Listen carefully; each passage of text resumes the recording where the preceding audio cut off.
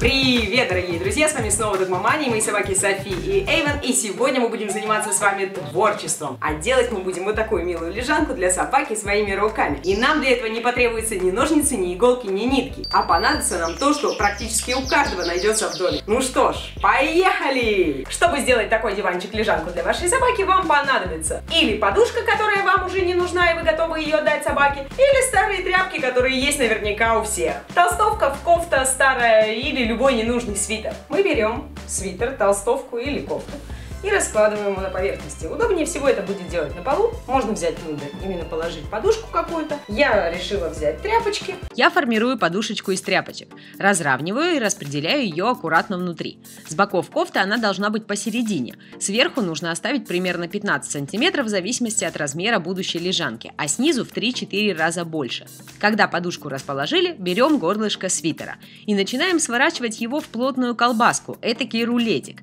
Сворачиваем хорошенько, хорошенько, крепко, чтобы передняя стенка лежанки была крепкая и не раскрутилась. Когда горлышко мы свернули, не прерываясь, делаем переход на рукав. Но если горлышко мы заворачивали в рулетик, то рукав мы скручиваем, как будто бы выжимаем его. Когда я закончила, мне удобно будет придержать его ногой, и я перехожу ко второму. Также продолжая из горлышка, я скручиваю второй рукав, как будто выжимаю его. Как вы видите, бока кофты заворачиваются вместе с рукавами внутрь. Нужно скручивать рукава очень плотно, в крепкие веревки. Затем я еще раз хорошенько скручиваю оба рукава и связываю их вместе, вот в такой вот узел.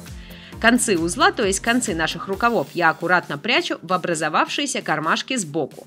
Подровняю форму лежаночки, а теперь у нас остался нижний кусочек кофты. Мы его загибаем сверху и заворачиваем под наш узел из рукавов.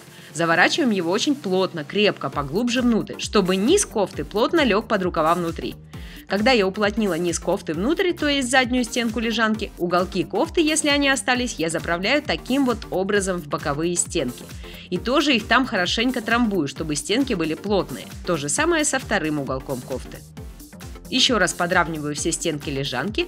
Вот и все, красивая шерстяная лежаночка для собачки готова. Материалы самые простые. Я делала такую лежанку из обычной толстовки, из флисовой толстовки, из хэбэшного свитера и шерстяного свитера. Время изготовления 15 минут. Легко стирать, разобрал и постирал. Крепость и плотность лежака зависит от выбранной ткани. Можно сделать ее любого цвета и размер зависит от размера кофты. Лежанку можно также использовать и для кошки. Очень бюджетный и симпатичный вариант, а ваша собачка точно будет довольна. Смотрите в следующем выпуске выпуске стильная съемная бандана для собаки на любой ошейник. Любите своих собак, мастерите вместе с нами, и будет вам счастье. Эйвен, ты уже на всех лежаночках полежал? Еще нет, Софи. О, какая лежаночка шерстяная. Мама, это теперь все наши четыре лежанки? Или мы их разберем? Или продадим? Эйвен, о, какая мягенькая, уютненькая, тепленькая, и бачок есть куда прижать. Ну-ка, Эйвен, подвинься-ка. Ой, класс. Я стоишь тут. Софи, ну там три штуки свободных. Ну и что? Ты что, против сестры поютиться? Нет, не против. Ну и все. София, ты своими руками сама можешь сделать что-нибудь? А зачем мне собаке сделать что-то своими лапами? Э, лапами, точно, лапами. О боже, Эйвен. Если ты не редиска, поставь лайк, нажми подписку и оставь свой комментарий. Ага.